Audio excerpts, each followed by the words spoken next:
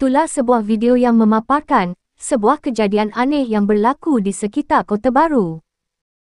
Menerusi video yang dikongsikan dapat dilihat, sebuah kereta jenis Proton Persona mengundur hingga naik ke atas pembahagi jalan.